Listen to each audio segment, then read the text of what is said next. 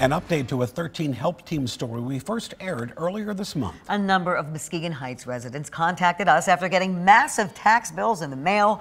One man's bill was $27,000. 13 Help Team's Charlie Tinker has been following this story. And Charlie, you've actually got some good news tonight.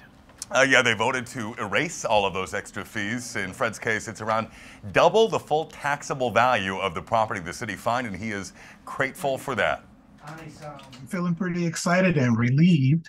Now I appreciate uh, uh, you guys and all the hard work you've been doing. I don't have any any ill will uh, or ill feelings uh, towards the city. I'm glad we were able to bring it to light, though, get a handle on on how it happened and get that cleared up. Yeah, thanking us uh, for keeping the pressure on this, getting it addressed as the end of the month deadline got closer and closer. It turns out the extra fines, the fees were a combination of backwater bills and a special assessment on vacant buildings, which hasn't actually been used in years. City Council ultimately wound up voting to reverse the fees assessed for 2021, giving the county treasurer the ability to walk all of it back and manually issue refunds if you did already pay. Now, as for how this happened, well, we still don't know that. Speaking with the county treasurer's office, I can't tell you how the city validated those payments, how uh, the accounting there actually shakes out in reality.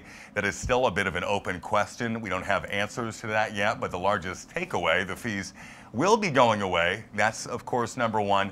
And as Fred goes, it is certainly relief enough for now. It's a big relief. If you have an issue you can't seem to work through, get the 13 Help team involved by dialing the number up there on your TV or check out the Help tab on our website and submit your questions there.